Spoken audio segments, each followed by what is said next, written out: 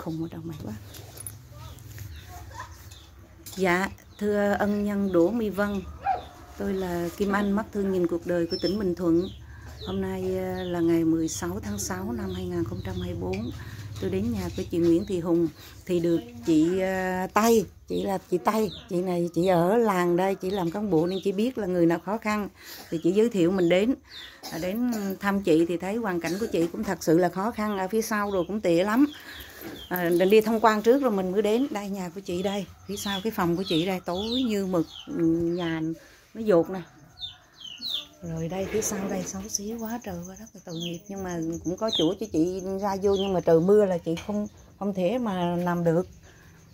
Uhm, dạ chị ơi ngày hôm nay là em đến thăm chị rồi em thấy hoàn cảnh của chị là khó khăn thật sự. Như chị tay ờ, giới thiệu thì em đại diện cho ân nhân để em trao quà cho chị giá phần quà của mình là 300 nghìn.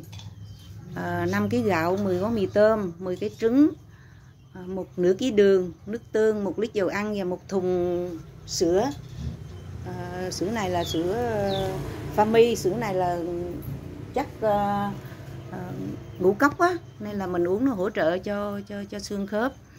Dạ chị nè bây giờ chị nhận quà của ân nhân chị có cảm ơn ân nhân không? À, có cảm ơn ân nhân chứ.